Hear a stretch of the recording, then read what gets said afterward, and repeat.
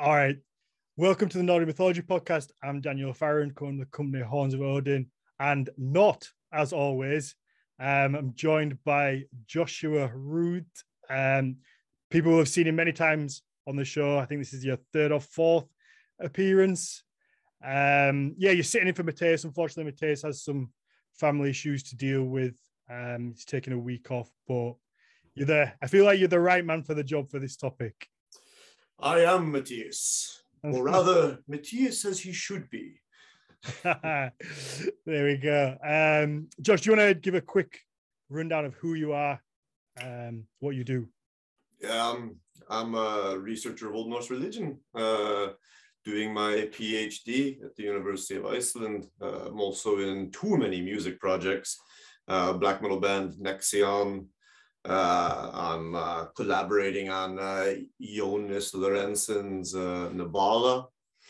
Uh, and I have my own super top secret project that I've been hinting at forever that's still not being unveiled. Other than oh, is that not out there yet? Is I that not will out say, yet? I will say Lorenz, uh, Jonas and uh, Shell and some other uh, fantastic uh, artists are uh, are on are also helping with that project. So it's getting there. So then I'm working on uh, giving lectures. Uh, if uh, if people have been following me on my social media, uh, and that's what I've been up to: researching, making music, and uh, giving lectures. That's who I am. What more do you need? And, oh, I need more. I have to find some more things so I can get totally overwhelmed. yeah, definitely. It's uh yeah, you can always do can always find more, more room for for the, the gym. You could go to the gym a bit more. I go to the gym five days a week, sometimes. six. Exactly. That's what I mean.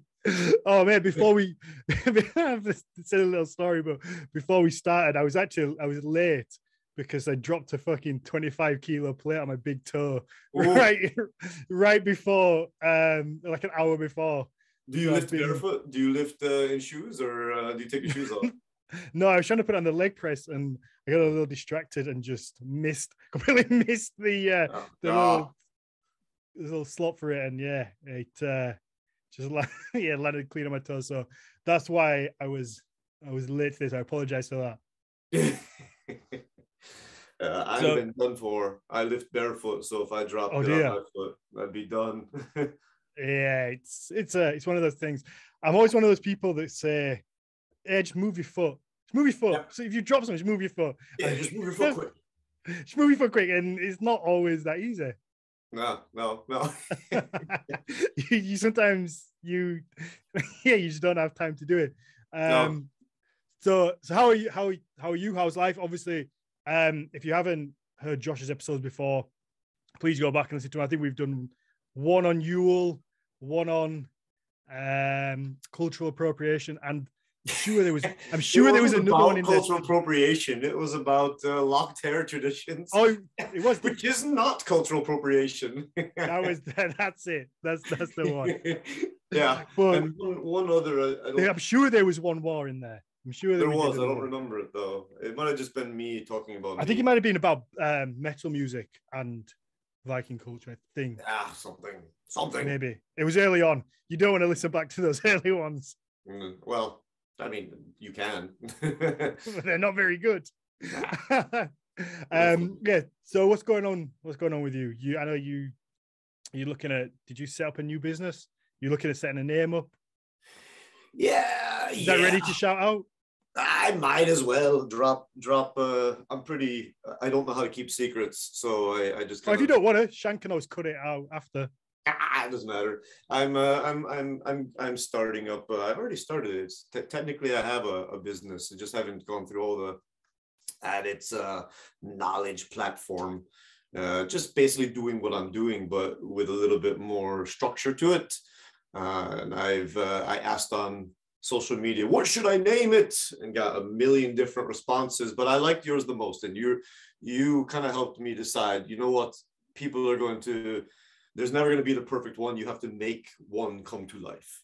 Mhm. So uh, That yeah, that I think that somebody told me that, and I can't remember who it was. yeah, Um, no, but it's when I true. was- It's, it's true with music bands too. You know, when you mm. name a you name your metal band, you could argue all day over what should I what should we name our band. Yeah. But it doesn't really matter what you name it, honestly. it's not important until you become something, and then you you become the name, and the name becomes something. Exactly. I mean, as long as you don't name your band Jizz Cakes or something. I'm sure somebody has out there. Oh, um, yeah, definitely.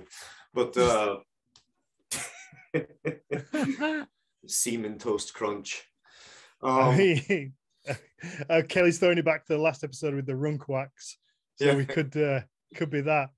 Um, no, no, I named it uh, Eagle on the Ash, and uh, and that's what it'll be going with. And I'll give announcements; it'll grow. So, but mm-hmm. uh, yeah, that's what I'm working on.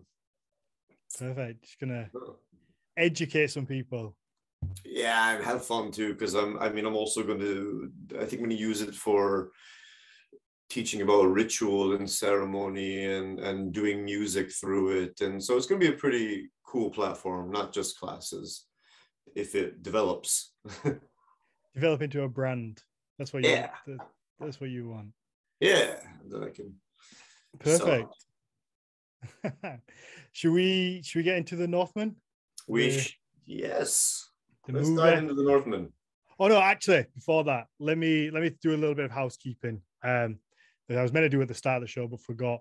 So, I mean, I, I think probably to to most people who just listen to the show and they're not on the on the Discord or in the Patreon to watch live shows, it probably seems like everything's just been relatively smooth lately. Um, but we've been we've been kind of up and down with recording times and moving stuff about and a little bit all over lately. And hopefully from now on we're going to get back to our usual schedule. But i just want to kind of say thank you to to all the patrons and all the people who've kind of stuck with us whilst we've been up and down. Obviously the patrons get an extra bonus episode every week. If you want to get those just pop over to patreon forward slash nordic mythology podcast but yeah we've been a, a little all over the place we've had some stuff going on but now we're you know we're going to get back we're going to really kind of hit the road and and, and take this tasting as far as we can. But I just wanted to give a shout out to people like you, Josh, and obviously like Jonas Lorenzen that we that we lean on when when we need, when we uh you know when things go wrong, we, we call you guys up and we're like, fuck, come and come and help us out. I, we we appreciate it, or at least I appreciate it. Uh, it was uh, it's, it's fun, so I'm I'm I'm glad to be here. So yeah, no, I just wanted to get out of the way because you know we we do appreciate everyone that's stuck by us whilst we've missed episodes, moved episodes, cancelled things. You know, it's it can get frustrating. It gets frustrating for for me. So I can only assume what it's like for other people that kind of expect these things to go out at a certain time. So yeah, we we appreciate you. Um, if you do like the show, obviously Patreon, best way to support us.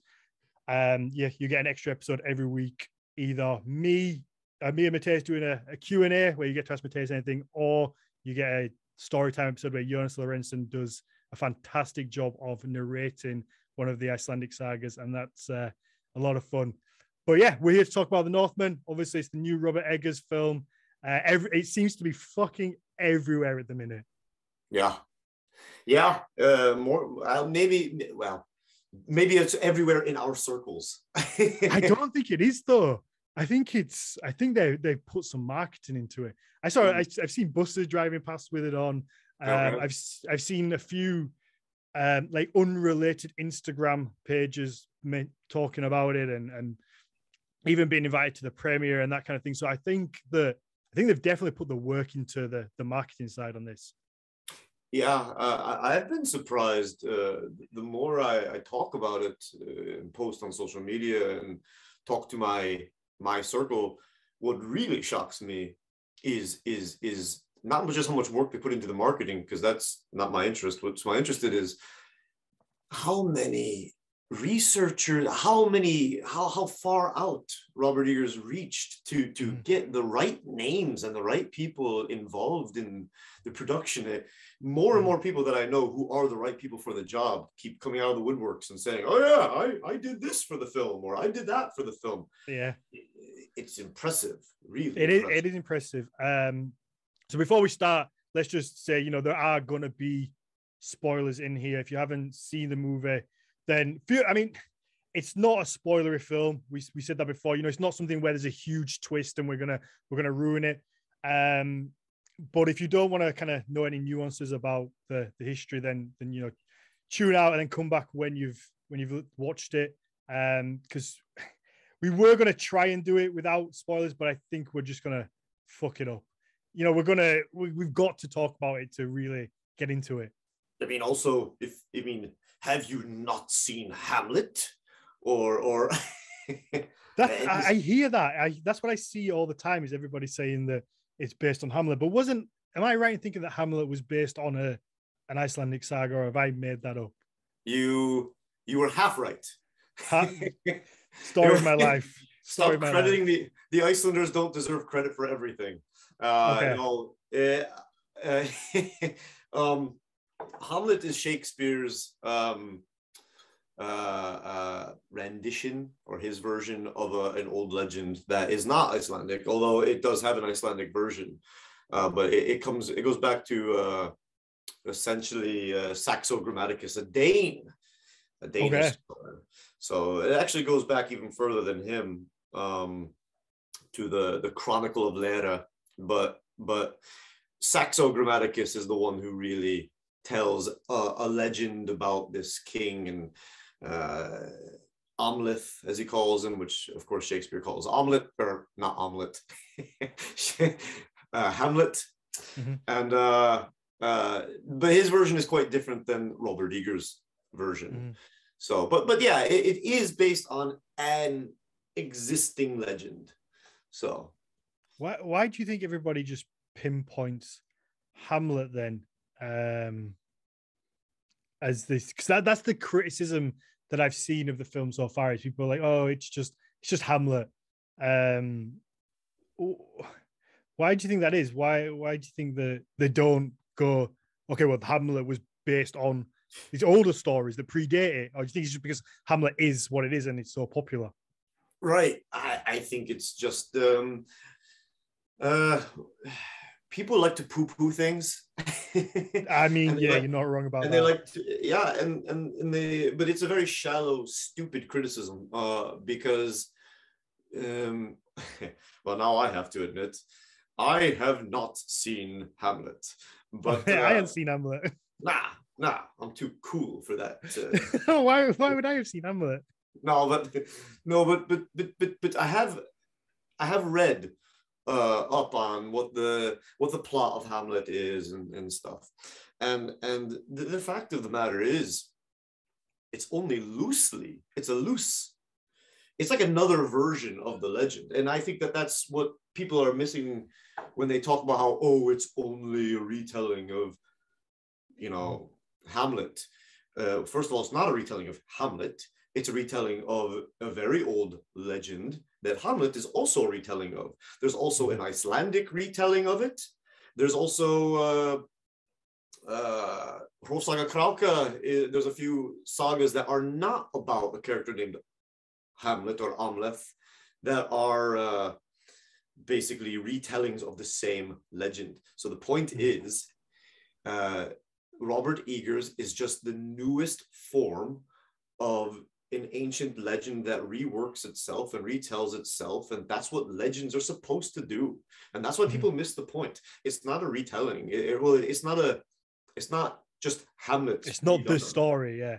Exactly. And, and i think i, I mean because i know saxo's version saxo's mm-hmm. original story. And, and and i went to the northman saying i mean they gotta spruce this up because i find saxo's version to be boring.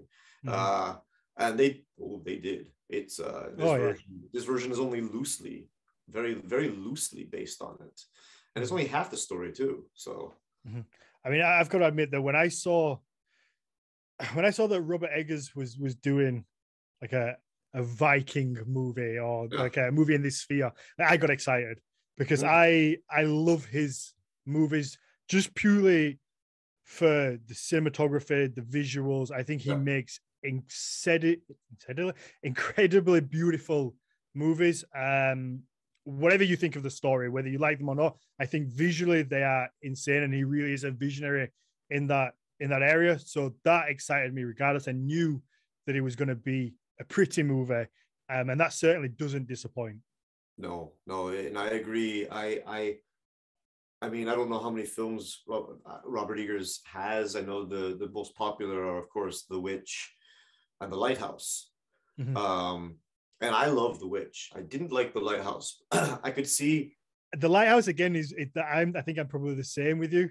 Hmm. Um, but I think again, it's still a pretty movie. Whether you like yeah. it or not, it's a pretty movie. Yeah, like I, you can see, it's one of those things where, yeah, it didn't catch me because it's not my thing. But you can look at it and you can see there is artistic vision in mm-hmm. what is being created here. It just doesn't hit me. The Witch I absolutely loved.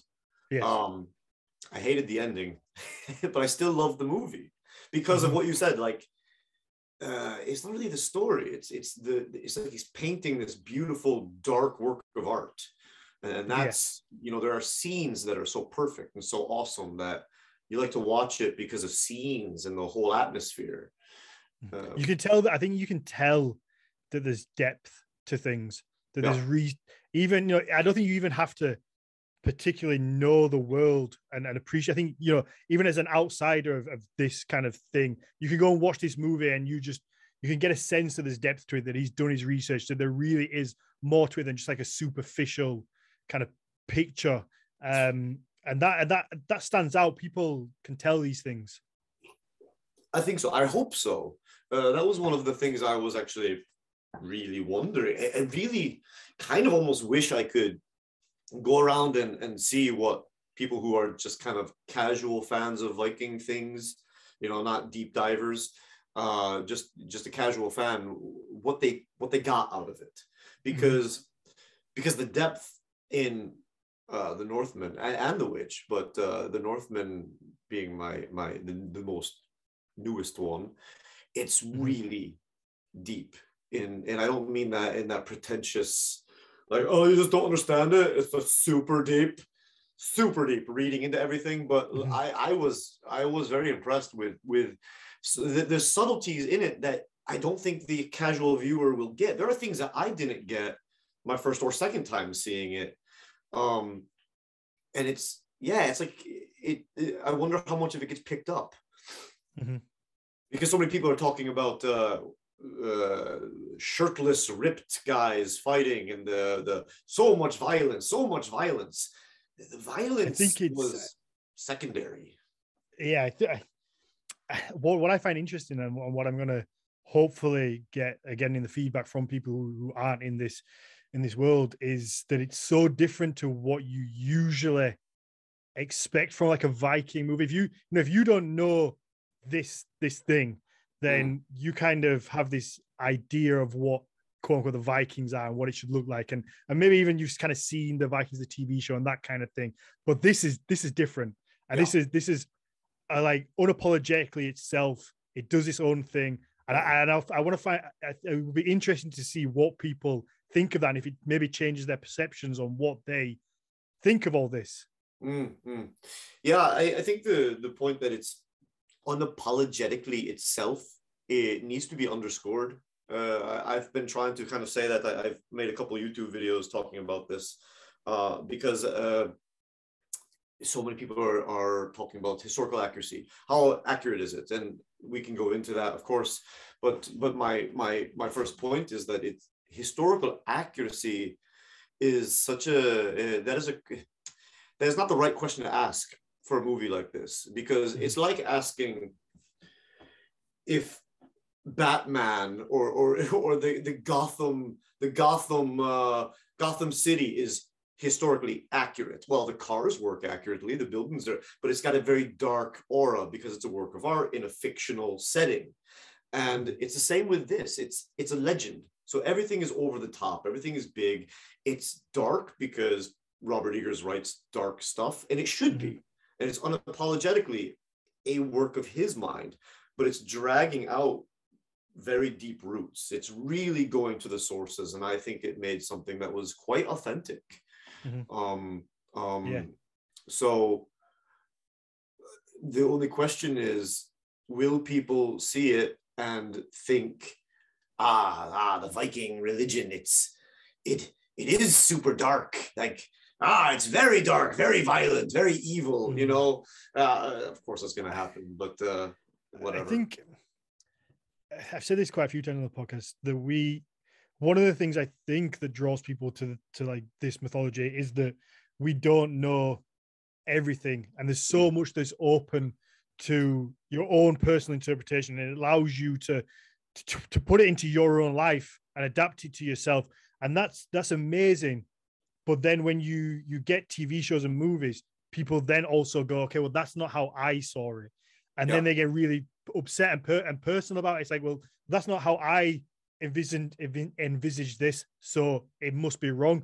Rather than just going, okay, well, I have my way of this, but this is just Robert Eggers' version. Like you said, it's this it's it's a fictional world, and he's taken bits and tried to do what he can with it. But it is a fictional world, and it's a and it's fiction story. Um, Yeah. people kind of get too hung up on the the nuances of it being hundred percent perfect here, there, and everywhere. Mm, mm. Um, I mean, yeah, my criticisms of it, my criticisms of it are actually have nothing to do with uh, any sort of accuracy, just more about cheesiness in certain parts. yeah, It's- I I agree. yeah. So Um, I would say before we before we jump into the to the exact kind of details of the historical accuracy of different different sections of the movie, um, I do want I, I do want to say that the one thing I want to give Robert Eggers absolute credit for is that he he was brave enough to to make the movie he wanted to make, mm, and that he he didn't feel the need to have to over explain everything and spoon feed the audience. Yeah, it was it, it's a case of that he's he's put this together he's used he's put little easter eggs in there for people like me you um, Mm. and everybody who's in this kind of world but then uh, from an outsider hopefully there's enough there that might drag you in and make you want to research but it wasn't a case of like you see with so many things where it's like you have to just feed everything all the time he's he's he's believed in the audience and gone okay here's what i want to make fucking have this yeah. and either like it or don't but this Yeah. is this is it and, I, and I really have to respect him for that I think what he did, and what I what I I think this is the the mark of. Uh, I mean, this is this is what I I'm a big sci-fi fan, uh, and and and I mean, a real work of art. I think uh, when it comes to sci-fi or even fantasy is can you create a world where the rules, the reality that these these characters are acting in are not ours. So, for example, so much of Hollywood is basically people acting the way they do in all Hollywood movies, uh, but with a backdrop and aesthetics of whatever the setting is. And in this case, uh, also in The Witch uh, and in The Lighthouse, I think this is what Robert Eggers does: is he creates a worldview for people. He, he creates the rules within a sort of reality that people operate within. And then that's the story, how characters act within this way of thinking. And so in The Witch, I mean, the scariest thing in The Witch is is not the witch. It's it to me, it was the the terrifying puritanic puritanicalism, puritanism, the, the terrifying uh, religiousness of the family. And their Mhm. worldview was terrifying. And in in uh, in uh, the Northman, he has he really has created a worldview, working with researchers and, and stuff to sort of create this sort of quote Viking or or heathen worldview, this particular worldview within within which the different characters operate. That's tough to do, and that takes a lot of work, and that's why there's so many layers to it. Mhm. Um, and that that that's brilliant, and it's brave, I think, as a as a filmmaker. Um, so because you you run the risk of becoming art art film that only a handful of people watch. Yeah. yeah you do um and yeah i think i, I think it is a, a brave movie in, in that sense um and i'm happy for that. I, I Yeah. i like things that are different. I'm sick of seeing like things that are just kind of plain and easy to understand and it's it's boring. I want something that makes me think and makes me react and and feel things. That's that's the that's the fun for me. So yeah let's get into some some details some Alright. actual kind of things that go on i, I want to start with my one probably I, one of my favorite scenes and that's the the, the Draugr scene um where he goes into the burial mound to to find this legendary Yeah. legendary sword um what did what did you think Uh, that was also in my top three favorite scenes.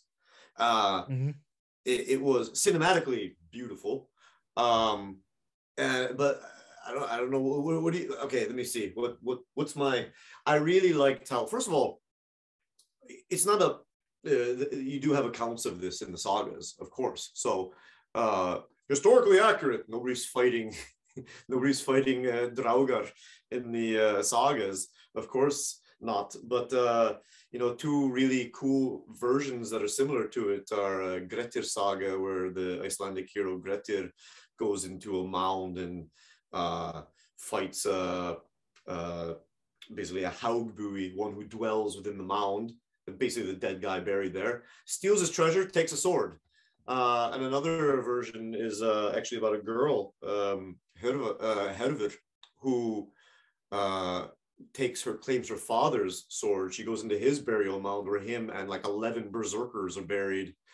And uh, it's a super cool. It's uh, it's it's contained in the, the saga of Hervör and Heidrik, but Mhm. uh, I think Carolyne Larrington preserved the the poetic aspects of that in she put it in her poetic edda version, so it's uh, you can read it, but uh, it's she doesn't fight them. She just sort of has an argument with them, and they give Mhm. her the legendary sword of her father named uh, Tyrfing, so the Fang of Tyr Yeah. super fucking cool. So back to the movie.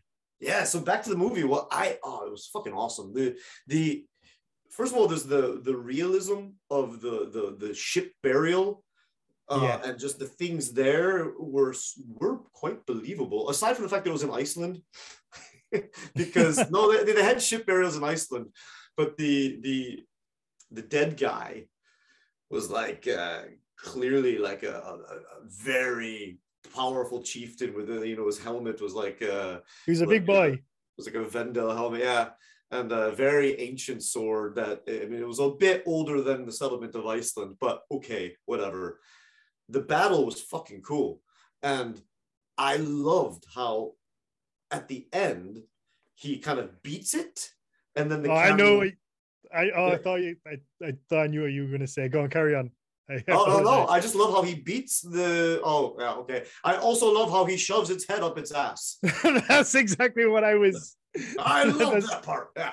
that's what I was going for. Yeah, yeah. so he he he he he beats the uh, dead guy, sodomizes him with his own head, and then the screen shifts, and you realize he's kind of having this battle with it in the spirit world or in the mental world. Is he even having it? That's what's so fucking great about it.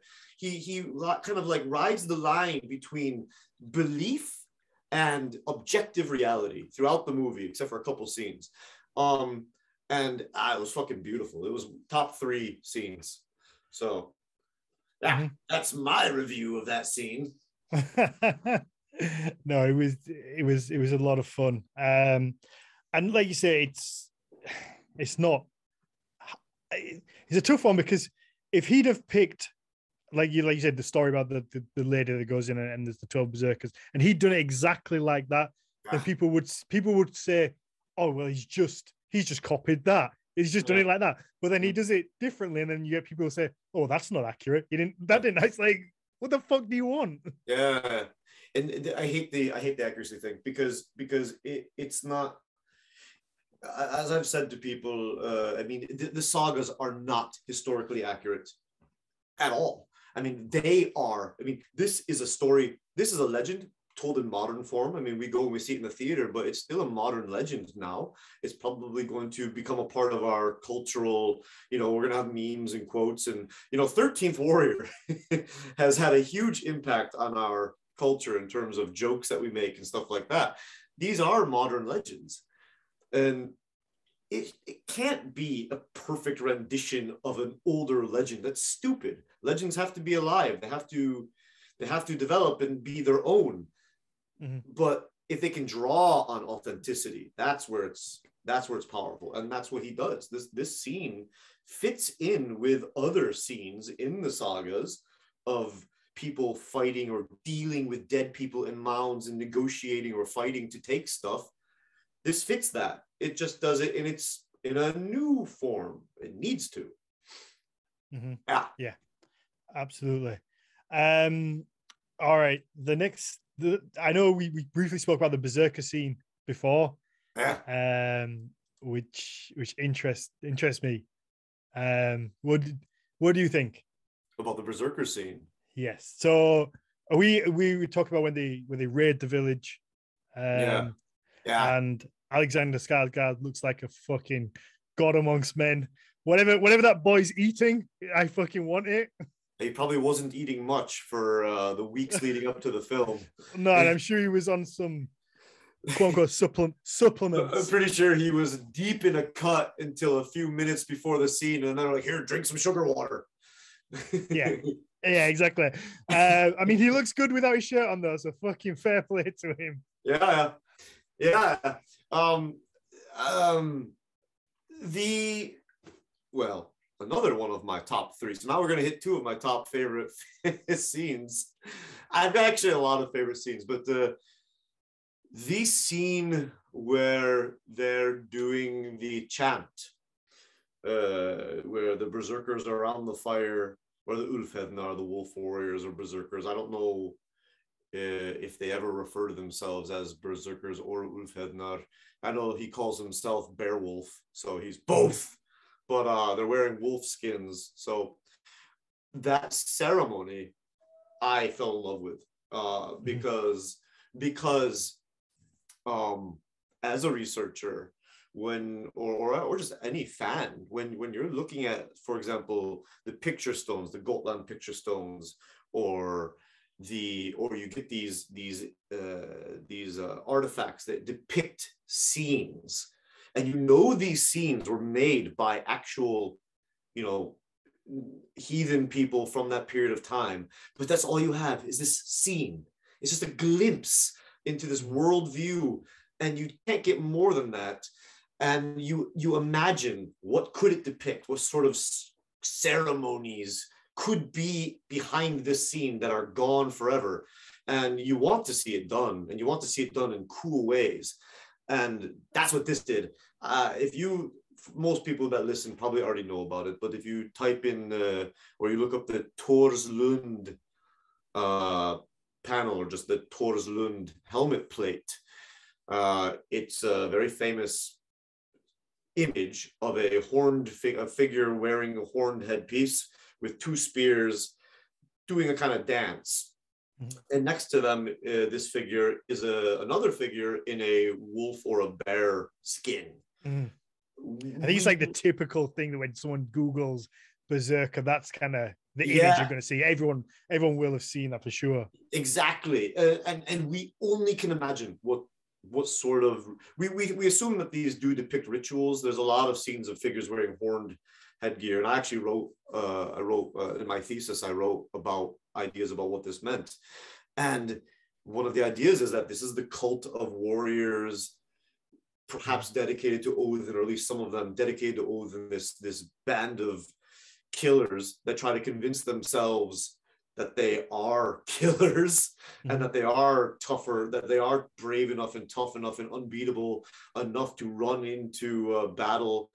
Uh, berserkers, people that live in a life of constant war, and you imagine these ceremonies, and that was so cool because the, he created this vi- image where the guy leading it is wearing the headpiece, and he's chanting it, and the other guys are kind of his wolf pack Mhm. and I, I it was it was the first depiction I've ever seen of that plate, you know, put into a live action scene.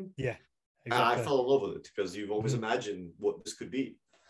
So, Yeah, um, and it, it actually runs runs true to when we had Roderick Dale on, and he he was telling us about this kind of idea of of the berserker actually being a dance rather than kind of like this typical mushroom eating warrior who ran in naked like that's like the, the and, and thankfully like that's left behind and it becomes this kind of it's yeah it's like a ritual to whip you up into frenzy and and i know people tease me all the time in the discord for referencing me playing rugby on here. But like it's that it is that kind of thing and, and you understand i think when you play any kind of like physical sport where you it is like a brotherhood and you you whip each other up into a frenzy you know. It's the pacific islanders have like the hakas where it's that pre it is like a pre-war war ritual where Yeah. you kind of get into this area, into this mentality where you're going to go to battle. So it's Yeah. not surprising that that thing would have existed. No, it would have existed, or there would have been many forms of something like that, because that's what people do, and and that's what uh, warrior fraternities do. I mean, you have to imagine you put, and of course, the entire the entire Scandinavian world wasn't the world of violence. Most people were just farmers and fishermen and traders, but there were dedicated warriors who lived a life of violence. There Mhm. were pirates and slavers who lived a life of violence. And these were people that had tremendous PTSD before PTSD was even a thing. Yeah. Um, and, and these were men who, who or, and women. Uh, increasingly, we're, we're seeing that women in some ways did play a part in different in different aspects of the the war world um but these were people that uh did perform ceremonies to get into a frenzy. Mhm. uh they also did these ceremonies to kind of you, you kind of notice in the movie i kind of like this. They're they're terrible. Like they're they're they're killing that scene is hard to watch where they're where they're you know taking uh children and, and taking people and putting them in this barn and setting it on fire and they're just horrible people. And they're and they have to do these ceremonies to kind of keep their own morale and to keep their own sense of uh fictive kinship brotherhood Mhm. I, I thought there was a lot behind that scene and also the chant the words were super cool Mhm. yeah i think that we we're guilty of of forgetting that these are these are humans that Mm. these are people you know we're we're a thousand years removed but we need to remember that there are people with feelings of fears. And you know it's it's this silly idea that we see in tv shows of like the the till valhalla everyone wants to die. It's that it's that idea of the there's no fear in battle. And i don't think that's the case you know we're with the, the humans.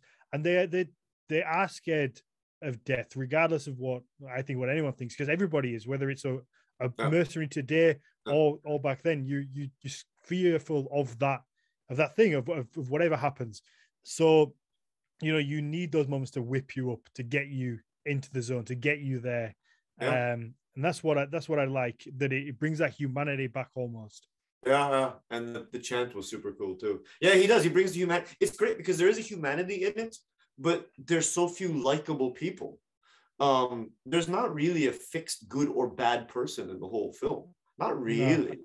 Um, I mean, Amleth is not a good person, uh, and and and, uh, and his enemy uh, Fjolnir is not a good person, but he's also not, as you learn later in the movie, he's not the most terrible person either. They all suck. They're all just brutal bastards in a brutal bastard world. Mhm. And that was pretty cool. Yeah it is They're all human in in a dark world. Um and doing what they doing what they think is right or best. Nobody, yeah, nobody's, yeah, nobody's perfect, and and and like, apart from Anya's Anya's character, she's perfect. which, one, which one is that? The uh the the and Anya Taylor, the, the blonde lady. Yeah. Let me see. We're trying to find a flaw. No, yeah, she well, yeah. you know, She, ah, she was a pretty good one. So enough said about that. Yeah. um, so I want to talk about one of, I don't know if it's, I think maybe one of my personally controversial scenes um, is when I'm going to say a, a child before kind of whatever happens, happens. And they're in like the, the churchy thing. It's not a church, but it kind of looks like a church. Um, are you talking about the temple? The temple, yes. I know it's a temple. It's I know not it's a temple. church. No, it's a temple, but it's kind of church-esque in appearance, which is one thing I wanted to ask you about is that the architecture of that, whether Mhm. because it looks quite does look quite churchy to me. So you're Well- referring to uh, child Amleth? When Yes. they go into the, the temple, Temple. to do the ceremony with his And dad. then we yeah, then I want to talk about the that bit. So Okay. yeah, so like Alyssa said in the chat, like a stave, stave church. eh? Mm, mm, mm, mm. Yeah, it, it, it does look stiff churchy. But you want me to uh, talk about that first, and then we go That- into the yeah, that first, and then let's go into yeah. the, the insanity of what ensues inside. I love Temple. what goes on inside that temple. All right, so we we we have obviously never found uh we don't have Viking age, architecture. So we have to sort of and this is why I hate the argument about the historical accuracy because we have to reel back and do a lot of research and argue about what is historically accurate. It looks stave churchy because uh, the stave churches, the stav churches are at least in in in their most basic in the stav way that they are constructed based on older pre-christian uh, uh, architecture. So we have found the most famous would be um, a place called Uppåkra in uh, southern sweden where we have found a, a stave building that is a cult house or a temple uh, temple hof cult house. It's a holy building where ceremonies took place. Um, we found a number of those, and we do think that the Stav churches are similar to those older buildings. Did they have dragon heads? We don't know, but I mean, their their ships had they had dragon heads and all kinds of crap, so they probably did. Um, but we we don't have any we don't have any, so we can't verify. But to me, it is totally valid uh, and quite accurate to imagine a, an older pre-Christian holy building looking like a Stav church, uh, more or less. So I thought that was um, along the lines with what we know. Um, and then you add on to it the artistry and stuff like that. Okay, fair enough. I, I I I loved it. So you you can feel free to love it. there we go. All right, let's let's get inside. Let's get inside because it's I loved inside. Mean, Inside it- was also my top three favorite scenes. I mean it it goes on in there. It gets it gets wild.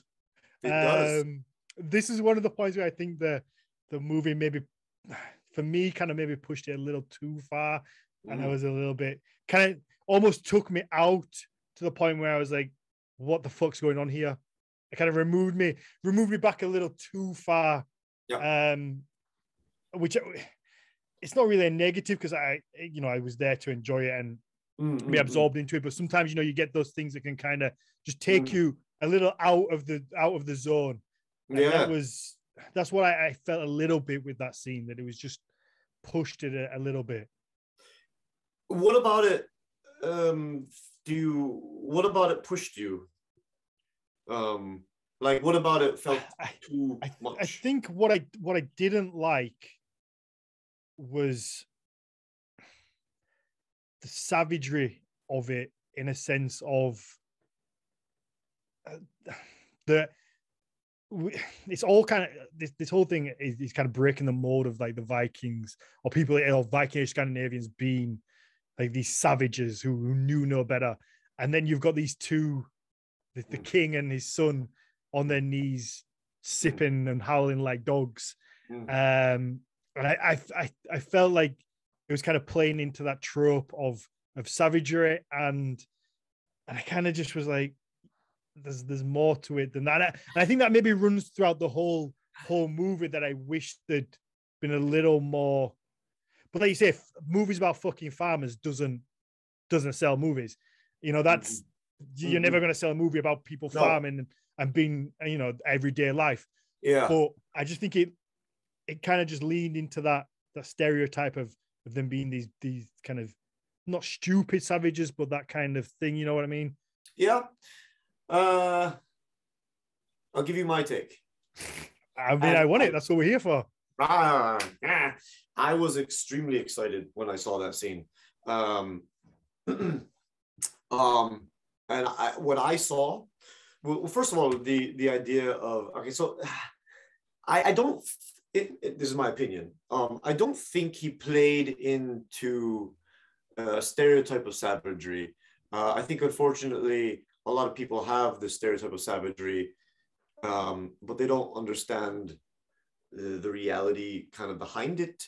I, I think uh, there is a lot of if you were to if I were to drop you in uh, a number of indigenous cultures, um, you would get culture shock uh, at what's going on, and some of it would mm-hmm. seem quite. Uh, or I would also get culture shock uh, because some of what goes on in cultures outside of our own uh, can appear quite savage because they're not because they're so different. Um, and I think if we could go back in time and enter the Viking Age, we would find a lot of what happened to be very hard to stomach. Uh, we could talk about the boat burial, for example, that happens later on with the sacrifice of the slave girl. Um, but but but but I think that so the the acting like dogs and stuff. What I saw and what I interpreted was got me very excited. Um, because if you notice, uh, and I, I, kind of, if you've seen my video, I talk about this, but I'll go into it again. Um, you have the temple.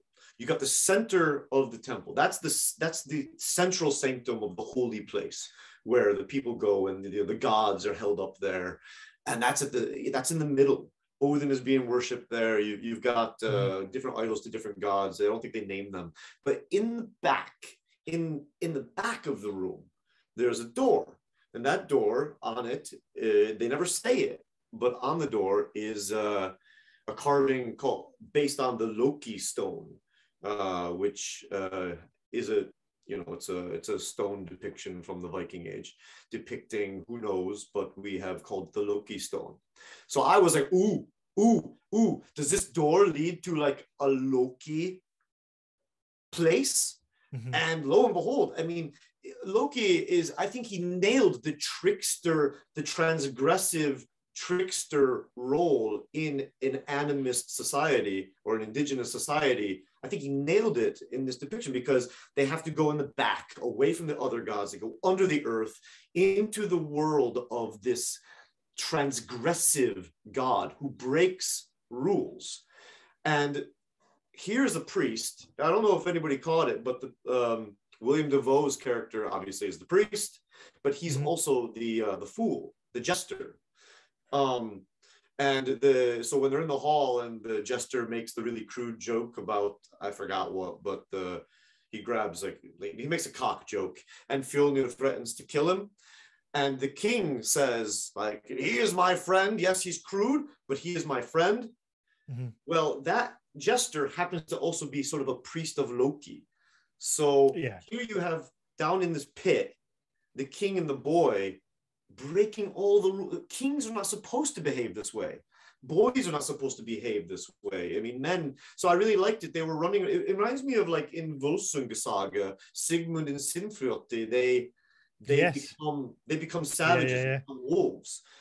And I think it was a lesson. Oh, also Jonas. This was something I didn't know, but Jonas filled me in on it that scene underneath the cave, uh, it's based on basically a henbane trip. And we know that they, we have found henbane uh, in uh, völva graves. So we assume that henbane, which was a heavy intoxicant, played a role in religious ceremonies. And so here these guys are just tripping. Mm-hmm. And it's about, I think, uh, breaking the rules and establishing the boy finding his place and establishing himself as a human. How do you become a human? How do you become a man? Mm-hmm. and uh, yeah so i liked it. I didn't think it broke any tropes. I think that they had or i don't think it broke i don't think it played with stereotypes too much. I think it went into the source material. And i think this is why we need chats like this yeah. because there's this there's things that the movie even even with me you know i've been doing this what we're 111 12 13 episodes i'm not sure what we're at. But you know, I've learned so much over it, but I'm still very much away from the point of like you, Mathias, and and the scholarly types that we come on here. Um, so when I Shannon's just corrected me, 114. Um, so you know, I you know, I like to think I've got a good understanding, but mm. things like that I miss. And, then as soon as you said said there, like the Volsunga saga, I'm like, fuck yeah, it does remind me of that. Now, now you said it, Um, and I think that's that's why kind of this is important, where we can import uh, point out all those little things that he's done and tried to do, and really, whether whether you like the movie or not, you have to respect the the the, the fact that he's tried to go so far with all these little things to, to keep justice to to what he wanted to create and, and and give justice to the the time period. I think so, and I, he really, he really. I mean, uh, we know that he worked with uh, Neil Price quite a bit, uh, who is an expert on uh, on what we can say about the the Viking Age sort of belief in spirits and relationship with the spirit world, the, the quote quote shamanism, um, and he wrote a lot about it with his book uh, The Viking Way, uh, which I highly recommend. If you read The Viking Way, I think you will see a lot of the Northman in it. Mm-hmm. Um, uh, and he also worked with my own advisor Terry Gunnell. So you see, you can see their arguments or their the things that they have said throughout the movie or throughout yeah throughout the film, and it, it's a lot of transformation. It's like the whole movie is about transformation. Um, and uh, there was another thing about that scene that I also didn't get originally, but I I brought it up to Jonas because obviously Jonas was in the film, and I was like, so this mm-hmm. Loki thing, I I know I'm right when I see this. This must be what Robert Eggers is going for. I mean, this transgressive transformation trickster figure, it, it's too perfect. Um, he must have known he was doing it. And Jonas was like, yeah. He also I forgot the name of the king I, but they call him the War Raven. So um, Amleth's father um, is an Odin figure. And the fool, who is the priest of Loki, also that mask he's wearing, it's based on a, a mask that they found in Iceland. Um, so yeah, cool side point. But uh, throughout the whole movie, he's obsessed with the All Father, the All Father, All Father Odin, All Father Odin and his father is basically it's like this weird thing where this character is really just obsessed with his dad his mm-hmm. father is an odinic figure he sees a raven and he says father and uh, you can never tell if it's actually odin or his father helping him so there's this is very cool role between a loki figure being the trick the the trick the the fool slash priest the odinic figure being the Amleth's father mm-hmm. um uh, yeah, and and I think that that I didn't even catch the Odin part when I watched it, so it's it's, it's fantastic. Mm-hmm. Um, I, I, I think it's so fascinating that there's that there's things that there's somebody at, at your at your level, you know, who's who's dedicated a lot of time to to this and and researching this this world, and then there's things in there that you don't pick up on no. So that, that I mean that that has to show the level of of detail and want to kind of do justice and do right. Yeah. Um, and that that really speaks volumes that you know people who really specialize in this are watching it and then going, you know, picking up on stuff and then the next time around going, oh my god, I fucking missed this in the background and missed this and yeah. missed this. Yeah, and there's so many little nuggets like that. Like I even liked uh, I, there's just so many things. I could go through the whole movie and be like, oh, this, this, this, this. The, the Valkyrie has, uh, what do you call it? Like, uh, her teeth are uh, filed. She has filed teeth. Filed teeth. We have. Yeah, I, I, liked that. Yeah, no, I liked how the Valkyrie looked as well. Like it wasn't uh, just some. I did some, not. Did you not? this was I mean, one of my criticisms. I did like the filed teeth. Uh, I didn't like the Valkyrie scene, and I didn't like. Oh, I, I, yeah, I don't think I necessarily liked the Valkyrie scene, but I, I I didn't mind how she looked in the sense that she wasn't like a big boobed, like superficial pretty, you know, like that that typical yeah, Valkyrie, fierce. That Valkyrie look. Yeah, she was mean. Yeah, and and I, I liked that. Um, yeah, I liked that bit. But let let's let's talk about that. Let's talk about the Valkyrie scene and like this this Asgard gate. Yeah. I or in The Witch, back to The Witch, I thought that the movie would have ended much better if it had just ended with the girl walking into the forest and yeah, walking into the forest, maybe walking into the forest and finding a group of women dancing on the fire. But then she starts floating up, and I was like, cheesy, gone too far, stupid. Yeah. And in this, had like, okay, big spoiler alert. He dies.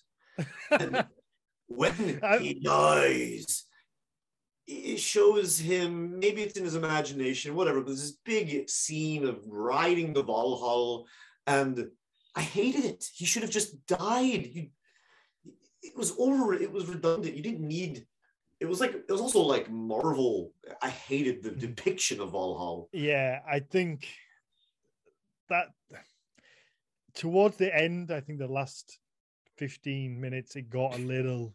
Too, too, I, I wasn't.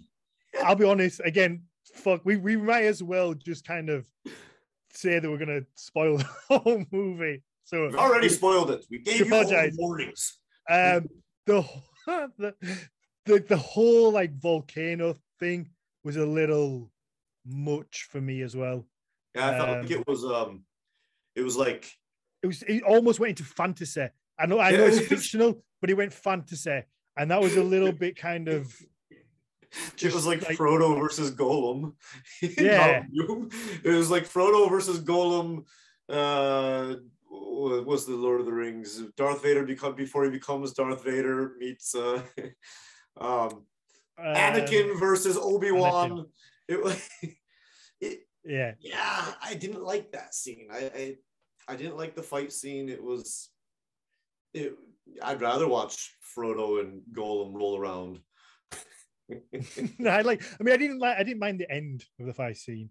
Um. All right. So we the the the ascent into Valhalla, Hated it. and obviously the like it looks very much like Heaven's Gates. Let's be Yeah. honest. That's Yeah. what it looks like. Yeah. Um. Yeah. What what what do you think about that? I hated it. Uh, I mean, there's a. I, I, I, it looks so cheesy.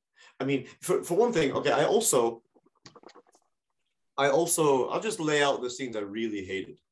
Um, I hated the scene where he escapes his bonds and suddenly there's fucking Odin standing there, like cheesy. It didn't even like the graphics looked weird too. It looked like cartoon Odin, the most cliche Odin you can imagine, standing there. I I was like "Ugh," cringe. The Valkyrie scene I didn't like uh, because it was for similar reasons, and the ascent to Valhalla was so Wagner meets Marvel meets. Yeah, I didn't like them. Um, because for one thing, the movie does such a good job of not going over the top. Like the scene with the draugr where he's fighting inside the barrow mound. Such an awesome scene. Then you realize he's doing it kind of in his head. Mhm. Um, another really fantastic scene is where the the he he where the men are all like flipping at where he's poisoned, he's mushroom poisoned. Uh, the guards, Fjolnir's guards, and they're killing themselves and losing their minds in the darkness, and they think that there are evil, like like dark death spirits after them, and they're like, "Aesir, stay away!" By the way, that's a much more realistic depiction of Valkyries uh, death spirits that come and claim you. That is, I think, Yeah. how the Viking world would have seen Valkyries, not these ladies on horses. But, anyways, he does such a good job of riding the line of belief and what's real and what's a part of their worldview. And then all of a sudden, you got this glowing gates of Valhalla. It it was over the top, and it also. Mhm. I mean, I don't want to go into not historically accurate, but uh, probably not how anybody imagined flying off into heaven. And so, yeah, but but what do you think of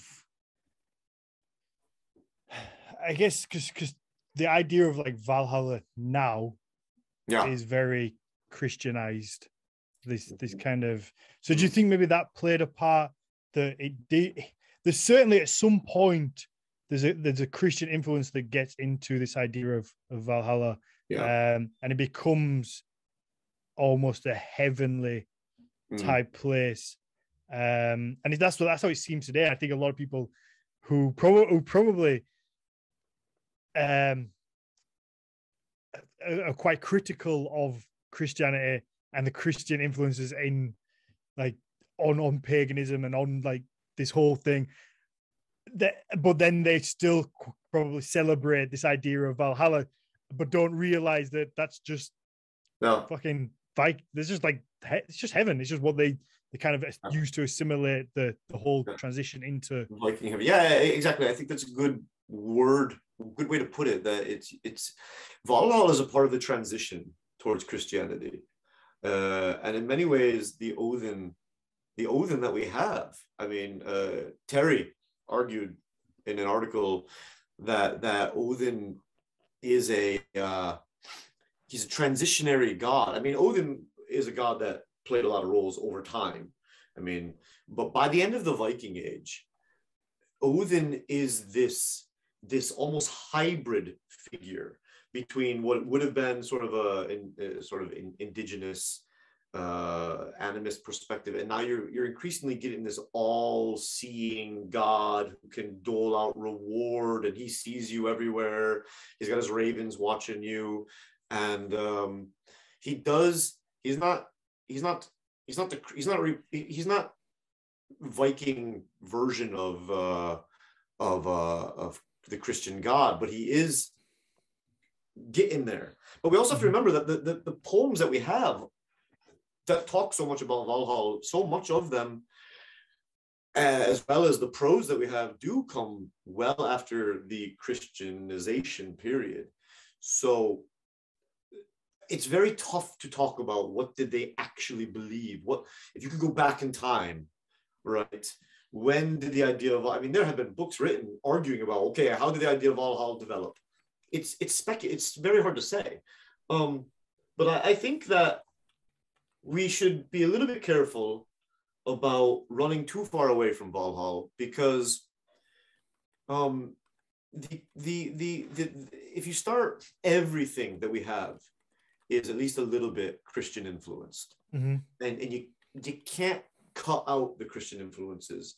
You, you really can't. All you can do is kind of talk about the shift in worldview that begins to happen. But by the end of the Viking Age, pagan kings did believe in Valhalla. Mhm. Uh, Haraldur Hárfagri, if he was an actual person, uh, but, uh, seemed to have been very much dedicated to this idea of Valhalla. And um, um, how, how come, uh, no, uh, yeah, Hákon the good? Hákon the good, when he dies, uh, they they recite a poem for him uh, and that's been passed down to us if if it's authentic. And he was a Christian, and even in his poem Hákon Hákonarmál, it's dedicated to him. It's basically a story about how well he was a good king, and therefore he had to go to Valhalla, even though he was a Christian. And Odin is a bit angry at him because he's a Christian, and he doesn't really want to see Odin, but he's got to go to Valhalla because good kings go to Valhalla, and and so he goes to Valhalla. Um, they did believe in Valhalla, um, but did they picture it up in the sky, glimmering, shining? I mean, I think that's what Hollywood did. I don't even think Christianity thought of heaven in that way for a long Wait a time. minute. I see. Mhm.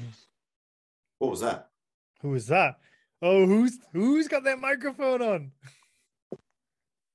Ah, I don't know. I heard a ghost. I maybe. What is it? no, but I don't know. It was Odin. Valhalla is Oh. There we go. It's all right. Shan, sorted it. Um, Did- you know, that's the, that's the thing with having a live audience, I guess. Yeah, yeah. So you ask these questions, and they're uh, they are tip of the iceberg questions because man, each one of them could go. Oh, I, I bet. I bet we could just probably do an episode on on each bit. Yeah, Um. So, you know, we've spoken about how much detail he's put into everything and Yeah. really, really tried. So, I struggle to think that he's just cut corners or just kind of with Valhalla just gone, fuck it. Like they, he must have based it on something. I, I I can't understand why he would just kind of put all this time into everything else, trying to, trying to Mhm. be as accurate as possible. And then when it comes to like Valhalla, just go, eh, let's just make it like heaven. So so ching. yeah, like he must have there must be something. He can't have just gone so detailed with everything else and put so much time and and thought yeah. and then just gone, nah, whatever. Yeah, it's So- it's weird because these scenes are jarring, right? I mean, I think anybody that watches the movie, the Odin scene too, uh, you don't need Odin there to know that it's Odin.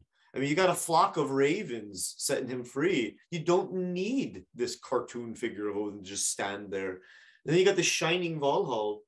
Um, I do you think that's maybe for people who who don't know who maybe aren't in because I, I I find it insane, you know, when I people tell people like if I have to ring up for car insurance, let's say, and and and you know, I have to like explain, oh yeah, my com- what's your company called?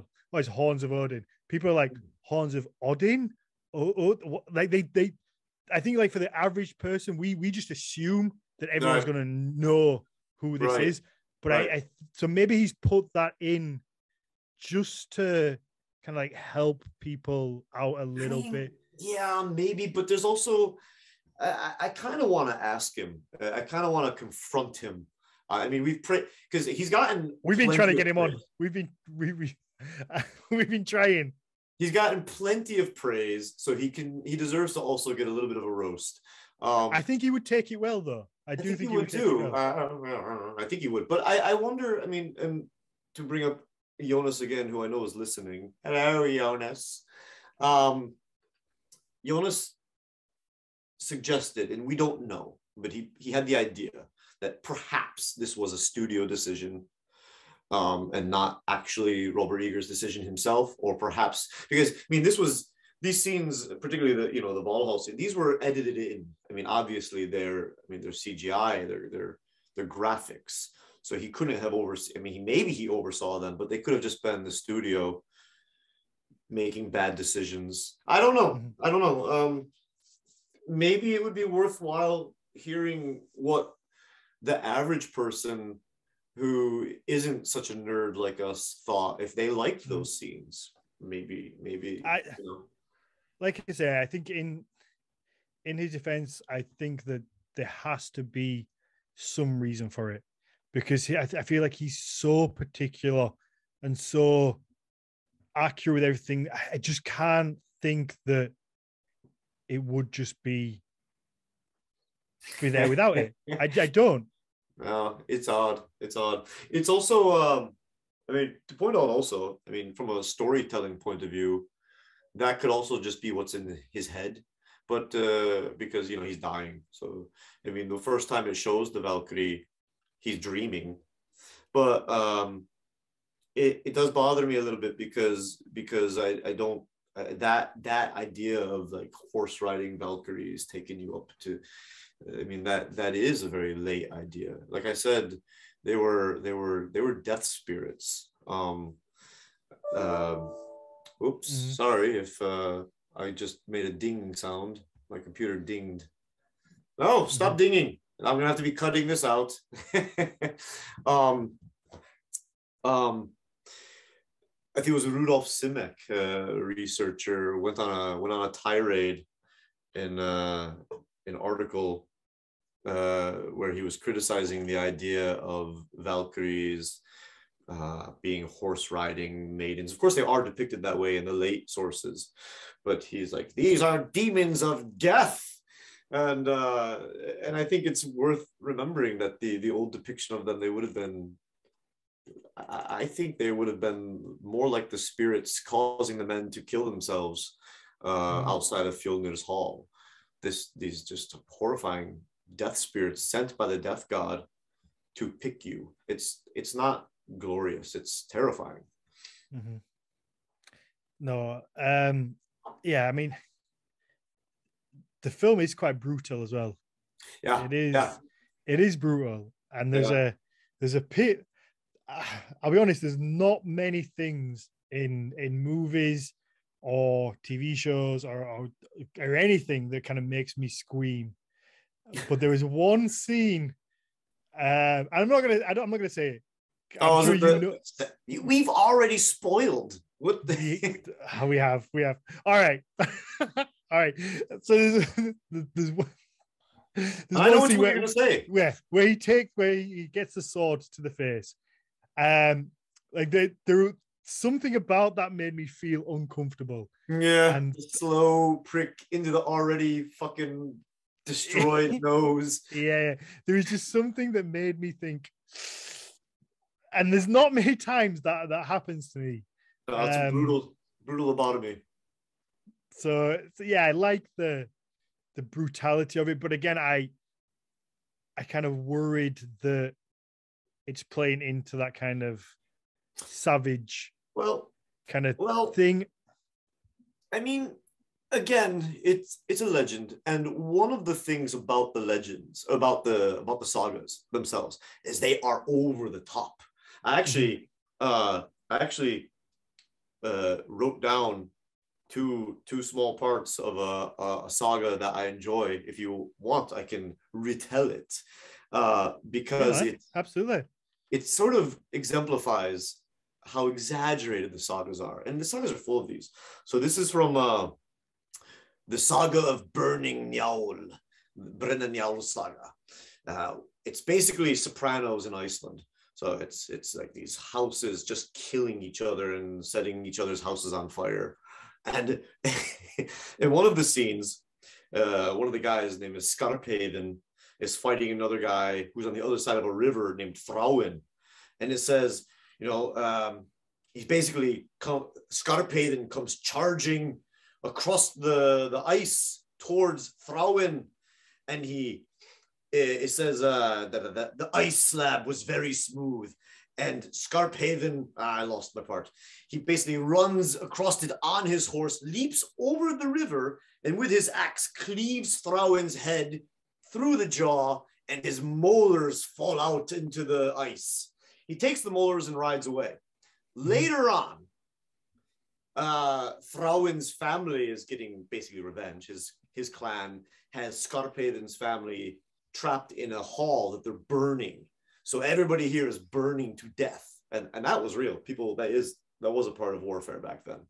But uh, Skarphéðinn is burning. He's inside the building, and one of the guys named Gunnar looks at him. He's climbing on the roof, and he's like, "Hey, Skarphéðinn, you look like you're crying." As Skarphéðinn is inside of a burning building, and Skarphéðinn basically says, "No, my eyes are just a little bit sore. Like it's just the smoke." and uh, Gunnar kind of taunts him and says, "I haven't been this happy since you killed my kinsman, uh, Thráinn."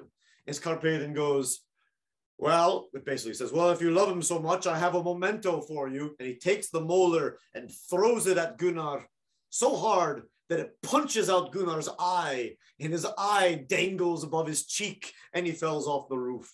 And it's it's all just so exaggerated. Mm-hmm. This is the sagas. They Yeah. are they are guys telling stories that are larger than life, more violent than reality. Mm-hmm. And I mean, does it play into a stereotype? Sure, but I mean, stereotypes are based on a little bit of truth, and and and at least the sagas are very brutal, and uh, I want that. I want this. I Robert Eggers' version of the Amleth saga. I would rather watch that than Hamlet, or a his, an accurate depiction of uh, Saxo Grammaticus's story. Because Saxo's version is quite boring. He's basically playing stupid for years um, instead of killing people. Okay. Okay. I think there's I think there's one more scene we have to discuss. Yes. Um, and I actually forgot about it until just now. I've been having too much fun and drinking too much whiskey. Yeah. Um, I'm too busy so- ranting. yeah, that's it. That's it. Um, it's the obviously it's like the, the the the slave scene, the sacrifice scene. Yeah. Um, unless you have another scene that I'm, we're meant to discuss as well. I like. I mean, we can talk about all kinds of scenes, but uh, that's I, that's I think scene- that I think that's the major one that we've kind of left out so Yeah. far. Yes. Oh, you want me to take the lead on it, huh? I- Do you do you want to? I mean, for me, Yes, I I see think a character. I, I see a person commented, and they say that scene gave me 13th Warrior vibes. Actually, like how Hamlet and Shakespeare is based off of a, an older account, 13th Warrior is also taking at least that part and basing it off of an older account. And actually, uh, um, for one re- for one thing, all right, I I I love 13th Warrior. I know it's really cheesy, but it's also really awesome. cheese cheesy is awesome sometimes. 13th Like, people- Warrior cheese is great. People get hung up on stuff sometimes, and I Ah, like yeah. cheesy stuff. I'm so Well- sucker like fuck it. Yeah, What's wrong with yeah. like a bit of nostalgia and a bit of cheese sometimes? Yeah, and I feel like 13th Warrior is from and the the whole idea of Vikings and Norse religion and Norse mythology and all that shit. Uh, it's it's become so serious because people have sort of uh, absorbed it into their identity in the last 20 years. And so now every I mean Vikings itself takes it, it seems to take itself very serious. But but 13th Warrior, it feels like it's from an era bef- when Viking stuff was fun, adventure and just I love that movie. But anyways, the scene from 13th Warrior is actually pretty good. Um Mhm. the the burial scene is it's actually a good scene. Um i- in as far as movie depictions go, it's fairly similar to the uh the actual account because this is based on an account. Mhm. So Robert Eggers' version is also based on an account. The the the thing that I think I want to point out a key difference between Robert Eggers' version and the account. The account is, uh, I think it was either the 11th century or the 10th century. Ibn Fadlan, an Arabic traveler, uh, goes up the Volga into the Rus and uh, deals with what we think may have been Swedish or, or Scandinavian people in the Rus. And he attends a uh, the burial of a chieftain. And this burial, this description, Ibn Fadlan's description is quite, quite, it's, it's very big, detailed description. And much of it we do think was quite accurate um, because uh, there's a number of reasons why, but uh, uh, there's, there's a lot of reason to believe quite a bit of what Ibn Fadlan says. But his depiction is in on the Volga, so actually, where the scene of the berserkers, you know, they're they're going and raiding people, and it would actually be roughly there. So he describes this burial of a chieftain, and it's quite elaborate. Robert Eggers' version is not attempting to be that burial, obviously, because he's talking about uh, a burial in Iceland. So he, he's not trying to replicate the exact same burial. He's doing a different one. Um, so it's a little bit smaller, but Robert Eggers' version is is actually quite vanilla compared to Ibn Fadlan, the original account. Mhm. Uh, so if you thought that part was hard to watch, Ibn Fadlan's uh, telling of what actually of what happened on the Volga is a bit difficult to swallow. Um, It's a bit more. It's a bit harder. It's a bit more, much less vanilla. so, I mean, but his but his depiction is good. I think. How how accurate do you think Ibn Fadlan's version is? Do you think I- it's do, do you think he's he's kind of playing into the the the kind of like savage pagan thing and- No. and making it and making it worse, or do you think that is what he saw and it's a fairly accurate account of of the I think- events? I think it's I think it's what he saw to the best of his ability to describe it, and most researchers think that it's what he saw. Okay. Um, um, nothing that he described is outlandish. I mean, we we have we have archaeology proving essentially every aspect of what he witnessed, from from young people being from human sacrifice to young people being buried with old people um, to obviously the massive amounts of animal sacrifice. Uh, I, I mean, there is no he, he didn't have a horse in the race. He, he wasn't there to convert people. Um, he, he he didn't he didn't there's no reason for him to really lie but Okay. we're not really going based on his reason to lie. It's it's it's the way he describes things. It's a we have found pretty good evidence to support um we haven't found that burial but we have found uh burials that are very it- everything he describes makes sense within what we know about uh pre-christian scandinavia. But he's also very careful in his descriptions. He he doesn't for example they sacrifice a slave girl. And and he doesn't he doesn't he he says things like she drinks uh, she drinks from a goblet i do not know what it is. And then he describes that she seems to be intoxicated. She's acting so he's describing he's not saying and then they poured foul heathen sorcery down her throat in the name of their terrible gods the way that so many uh, uh, so many christian authors from that time described them. So it's not very elaborate i- i- or in a, an exaggerated way. There's not really a reason to doubt it. No i think we just don't like what we're reading because it's tough to swallow but people do worse today and Mhm. people do worse in the christian world. Um the people uh, and we got to remember in a world like that people were much more desensitized to death. So i don't think what he saw was very was was very outlandish given the time Mhm. so um yeah, no, I think that I think that's fair. Um because I think people forget this only recently that we've become so desensitized from death. yeah You know, you only have to go back to the Victorian times, particularly in England. You know, you would have um you know, butchery in the street yeah and you would see it wouldn't be uncommon you'd you know you'd see you see blood and gore and, and whatever whether maybe it might not be human but it's you know it's animal it's there you you see it you know where things come from. And it's only kind of now that we kind of get things in these nice little plastic packages so far removed from what they actually are yeah um Yeah. that we become kind of softened to that. Yeah and i mean i mean i, I of course I, I wouldn't condone the sacrificing of of of anybody to join their master i like the way you you how you feel the need to uh Uh, I- I don't that. condone it, but I also don't demonize it because it's it's people in a, a very different time with a very different worldview because their their relationship with death was so different. Their relationship with what happens when you die and and stuff. So I- it was quite different. And and like I really liked in Robert Eggers' version. I mean, what he does depict, he does go along with the description. It, it makes sense. It all makes sense.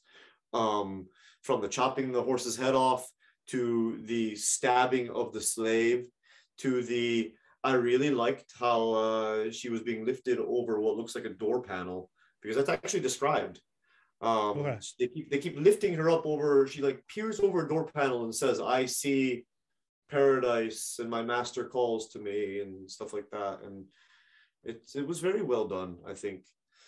Mhm. So No, yeah, I th- I, th- I think it was. I, th- I, th- I think the whole movie is, and like I say, you have to respect the depth and the and the detail he's gone into. Um, whether you like the film or not, I think if you if you're interested in in this this stuff, this whole world, this, this whatever you want to call it, community, I think you have to respect the fact that he's done his absolute best to try and honor it, but also tell his story. At the end of the day, it is it is a fiction, fictional story. He's telling his story, but he he really has tried to honor everything and and and yeah, you gotta I can't I can't complain at that. I really No. can't. I, No, and I, I think that the, I mean, because uh, I mean, I, it it's a dark story. It's meant to be a dark story. It's not. Uh, well, thankfully, it's not on the History Channel because then it would be worse. But uh, it's not. It's not an attempt to depict historical accuracy. He, he's not trying to show the life of people in that period. He's trying to tell a story, a very dark story. But that story, he wanted, I, is- very clearly, it seems, he wanted that story to be rooted in the world that that as we know it that it came from and i think he did that um so back to the gotham it's dark but it's it's still based on something um and if he had if it wasn't dark it would have been i don't know it would have been a flop i think yeah. Um no, I, I, I like I say, I, I, I can't praise that side of it enough. I, I, I mean, I, yeah, I love the movie, but I think the, the fact that you say he, so many people could just, they could just tell a story and not care and tell, you know, make a, make a movie, make a good film, and you, you know, you don't have to care that much, but no. they, they very clearly is mm. this, this want to mm. do justice and do right mm. by the history, and that I, I find very commendable. And. I think that is what needs to be respected. And I wish more people did that and really kind of were willing to because it, it can't be cheap either.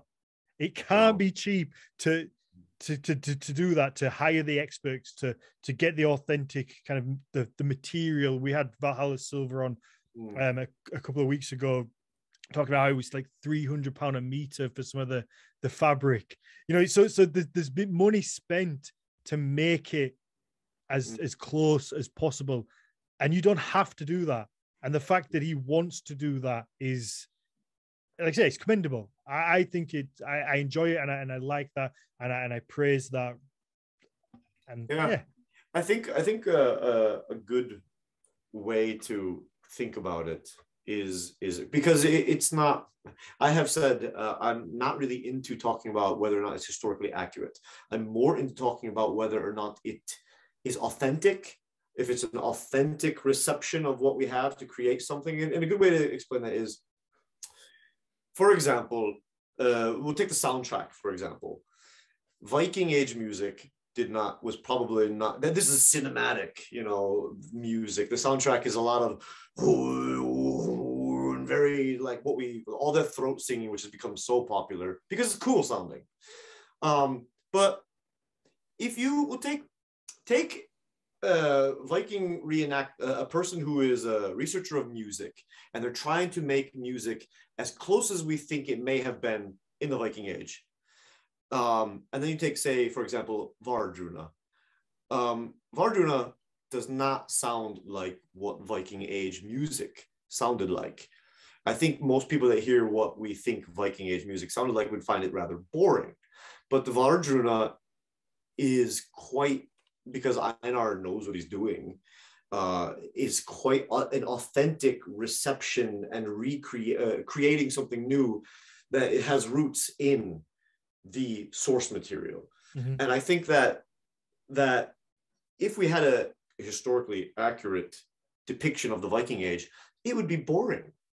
Uh, we want something larger we want something mythological and we you know and that's what this is. So it's an authentic reception not a historical accuracy although there is a lot of accuracy in it. I mean the costumes uh, the, the a lot of it is it's super cool. Mm-hmm. i have All a question for you. Oh go on go on. I've oh, got, what did you what did you, what did you think I was, I've got some. I've got. We've got some questions from people watching, but you you ask ah. me a question first. Ah, what did you think of the ball game? Shall we? Shall we uh, bring it? Shall we revive? Actually, I think it is revive. Uh, it, what did you think of it? ball game. Um, I liked it. I like it because I think that I think that that, that, that would have existed. I think that I, I this is me going from like I have no idea. I have no idea if that's accurate or not. I I do not know. but I think there's something like that would have existed. I think that like ball, ball games and, and this idea of of kind of like male masculinity pitting against each other, not in a in like a war setting, but it's still there. I think that would have existed. Um, so I liked it. I enjoyed it. W- what about you? I I I think that uh, well I I have, I think it should be uh, reintroduced. Um, Are we bringing it back? I think I well well that version isn't uh, we we don't the version that was depicted maybe not maybe not quite like that. Ah well the the the we don't know what what the game what the I forgot what it's called Knattleikr or something like that. But uh, the description of uh, ball games in the sagas we don't have enough information to know if it was played like this. It probably wasn't. The version that we have looks like it's a combination of lacrosse and uh, rugby, mm.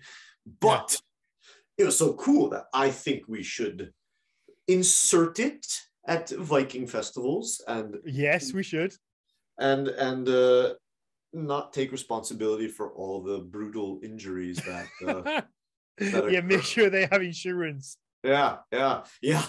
Big insurance. Oh, it would be good fun though, and it'd be better than fucking glíma. I mean, if we, yeah, yeah, yeah, um, it would be way better. Uh, and I think that, um, I mean, you could have. They, there. I have I looked it up, and I, I guess they do play a version of this at different Viking festivals um, without as much brutality. So it, it, it probably is quite fun. So um, uh, Mhm. I would play it. Just uh, maybe not with the free for all smashing each other in the face with uh with oak, yeah, oak, uh, it is a bit stabs. It is a Yeah. bit brutal. Yeah. All right, man. Let's let's we let's fuck. We've been going like an hour, what, an hour and a half now. Let's let's do some questions and then yeah, let's get out of here. Um, so Alicia wants to know. She's um, I apologize. Alyssa wants to know: uh, Were there trees in Iceland at the time, or is it a myth that there weren't?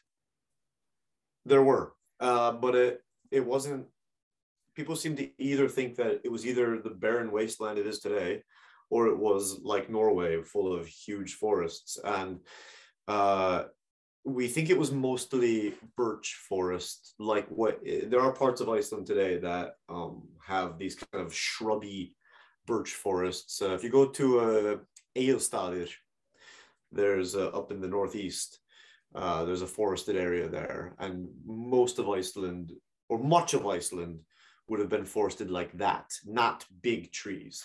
Um, but there were there were parts with big trees, but there was also if you ever have ever been to Iceland, it has a bit of a diverse landscape. I mean, there's desert, and there was desert, Mhm. and there are vast empty spaces, and there were vast empty spaces, but there were also forests. Um, and there's forests today. We're trying. They're trying really hard to re- to plant forests. They're just small and cute compared to everywhere else.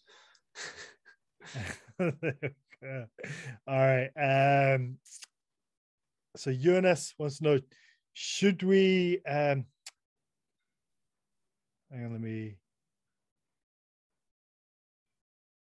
So, should we be talking about the historical accuracy or the mythical accuracy? Which I think is a good point because there is a there is a difference to be had. I uh, um I don't believe in myth mythical accuracy because myths myths are always changing. Myths are are myths were always changing, and the myths that we have are just a couple versions that would have been countless versions of those, which is why Robert Eggers' version is perfectly fine. You don't need to have one canon version of a story. Mhm. That's not how mythology or legend works. Um, that's why you can have 30 different versions of Batman.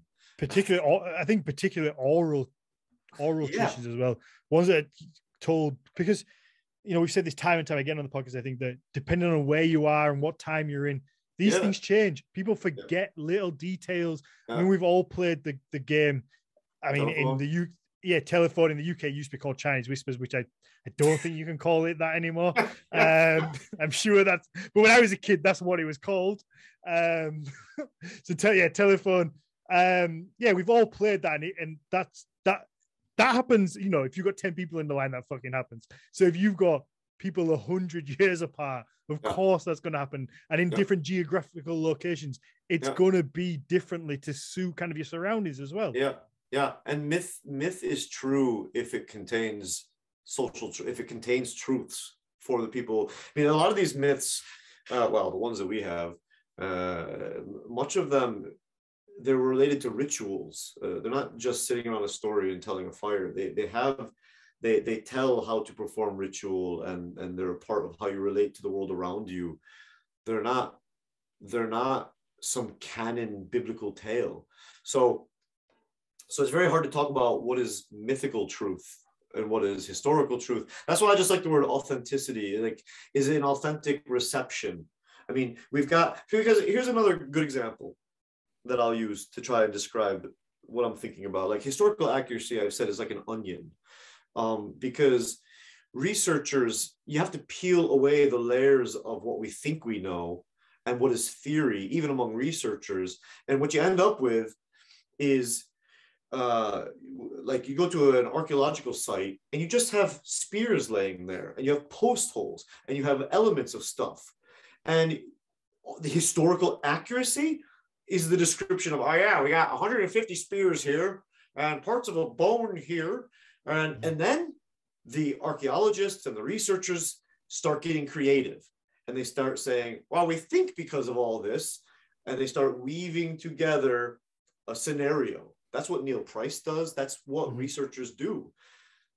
We're we're making shit up. We're not just making it up, but it it's it's uh it our historical accuracy is our interpretations mm-hmm. of the past. We can't get at historical accuracy without becoming just a sterile laboratory.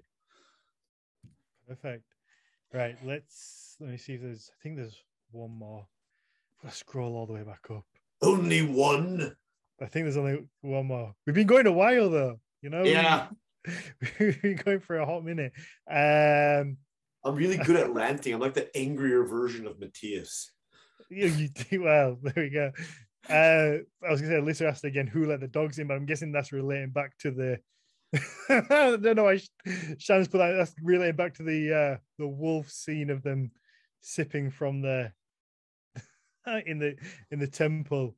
Um, I love that scene. I know, I know you do. I think maybe when I rewatch it, I might I might change my mind on it.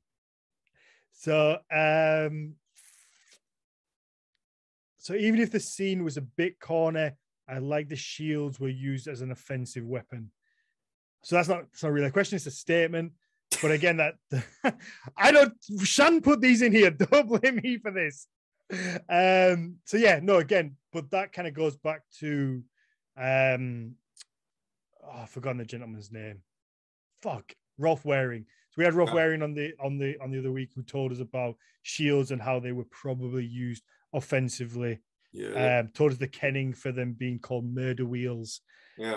Um, yeah. So yeah, so I, I, think that's interesting, and I, I, I do like that touch that that they used as probably more accurately than a defensive thing. Yeah, but I one of my other criticisms is of actually the fighting scenes. I, I thought. Okay, there we go. Let's hear this. well, I mean, we'll take for example when the, the berserkers are, uh, or when Alexander, when his when they're raiding the village, and he's just like strutting around, huh, killing a guy, strutting to the next guy. Huh. It was come on, nobody fought that way, and, and it, it's it was ridiculous to watch. Uh, I didn't like it. um, and then uh, um, and not, I didn't I didn't dislike it because it wasn't historically accurate. I didn't like it because it just looked dumb to watch this guy trudging around, hack, trudge, trudge, hack. Um, yeah, the fighting. I'm not an expert on Viking Age fighting techniques, so I, I also don't really care overtly, but I have a feeling experts of fighting techniques were rolling their eyes a lot during that during the fighting scenes. but I I'm, I wanted over the top fighting, like crazy fighting, Hollywood esque fighting like like The Witcher. The Witcher. I have a lot of criticisms of The Witcher, but their fighting scenes are great. mm-hmm. Yeah. There we go. Let's let's let's wrap this up. Um, yeah, it's been it's been a lot of fun. I think we've we spoiled the movie for sure. um, but no, I've I've learned a lot, and you've definitely made me see things from a from a different side of things. Um, and I think that I find it so interesting that you didn't pick up on everything first time round, and that that that kind ADHD. of. But, but I think, but I think that screams to to the level of detail that's gone mm-hmm. into mm-hmm. it. Because if it was just kind of minimal level, you'd probably pick up on ninety nine percent of things because it's just these one things. But because it's so much, I think that that that's that kind of surprises me. One more super cool thing and I'll just sum it up really quick. When he meets that völva, that when he meets the bearded guy in the cave, that scene is so awesome. Uh, you'll notice that guy in the cave. He's got the head of uh, the the William Dafoe's character. He's got William Dafoe's head. He's Yes. wearing a dress. He's wearing a dress, Okay. and he gives birth to the head in a save shamanic save ceremony. It, and then he goes into a trance, but he gives like ritual birth to this severed head, and then the spirit of the head goes into it, and he talks with with the head with uh, the voice of the the corpse. That scene was awesome, and it was even though it was very dark, uh, it was really rooted in what we know of seiðr and what we know of shamanism. And so it it it's it's really dark, but it also makes sense. Mhm. And that's what's so cool. Uh, so yeah, I, I mean, there are layers to this to this movie that that's why it was such a blast to watch. and you can um, watch it more than once. Yeah. You know, Yeah. it, it, it's a it's, it's one that you can rewatch, and I like I that. wonder, I wonder what Mathias thinks. Oh, we need to. We're gonna have to ask him. He's gonna try and be different and go, it sucked. It was so historically inaccurate. What Josh said was it was actually wrong. This part was actually he's gonna really nitpick it. Just Maybe. Maybe, but you know, he's he's always going to be him. I can't wait to get him back. I actually felt bad recording without him because this is the first time like we've done one without him. Um, so yeah, you you you can take credit for that. 114 episodes in, we've done them all together. Um, and I actually messaged him. I'm like, man, I I feel like I feel bad. I feel all like it feels weird, but um, you know, thing things happen. Like And you're having be, a dirty, filthy affair with him, with me on him. you, you're my yeah, my day weekend away. yeah, but no, he'll he'll be back next week. You know, unfortunately, these things these things happen, but we have to keep trying, you know, be consistent and, and get things out every week. Um, just to re- reiterate what I said at the start, you know, I we appreciate everybody that listens every week, who subscribes on on YouTube, who follows us on on Instagram, on Facebook, and again, everybody who, who follows us on Patreon. That that means the world to us because it helps us keep growing the show and and put more money in and, and kind of help just help make it better and, and Yeah. invest back in. You know, we don't ever take any money out of it personally. Everything gets invested back into into this and, and trying to make something um, bigger. So we we do appreciate you know the the people come along and we've we've, we've maybe been a little off lately because we just haven't been able to find that rhythm. Things have been going on, um, but we're going to get it back and we're going to kind of get back to that that nice routine that we had. So just thank you for for sticking with us. I think is the is the sentiment behind that. yeah. I, I, mean, I, I, I really love what you guys do. So, uh, because, uh, and many people have already said this. There's, it's so hard to find good material and good things that people can listen to that are interested in this sort of stuff. And and you guys have the it's just a it's, it's a great podcast. It's a great way of getting people who don't know to the material to learn more, but it's also accessible and fun, entertaining. Um, so I I love it when I get to be on here. So uh, You're welcome I back anytime. To it. So anytime when you when your when your next project um comes out you'll you'll be back i think people will love this you know it's been a it's been fun i've enjoyed the i've enjoyed the conversation you've been a you've been a worthy co-host good, good. all right let people know where they can find you follow follow you follow your music everything whatever, Yeah, whatever you, you want to shout out I mean, you can follow me on Instagram or Facebook. I'm sure they're going to link my my Instagram and my Facebook. Uh, you can also follow my band Nexion, but it's black metal. It's not really Nordic. And of course, check out Nabala, which is Jonas's project, but I'm contributing to it and a part of it. Uh, and uh, yeah, follow me on Instagram to keep up with the the ensuing announcements. there we go So, yeah, go go follow Josh. And again, uh, get again to shout out Jonas, you know, he he helps us out week in, week out. Um, comes on, does the story time, you know. So so yeah, go and go and follow whatever Jonas does and his and Nabala and you know the music, everything. Um, yeah, I, I've got a lot of time for for Jonas and, and you know the time he helps us helps us create this. So yeah, um, thank you to you, Josh. Thank mm-hmm. you to everybody who follows. If you if you enjoy the show, please uh, take a minute to leave us a five star rating and a positive review on wherever you listen to this. It, you you may think it means nothing, but it helps us kind of bump up the charts, and also it makes me smile when we get a positive one. I read them, and you know it makes me happy. Um, subscribe to the YouTube if you can. Please consider popping over onto Patreon, Nordic Mythology Podcast, um, and you get a bonus episode every week. So, like I say, it's either a Q and A with Mathias or question uh, story time with with Jonas. I think it works out as maybe 12, 15 pence a day or something like that. So it, it's really worth it. You get the whole back catalog, and it helps us helps us grow. So yeah, thank you very much. Thank you, Josh. Thank you for everyone for again for sticking with us, and we'll see you next time.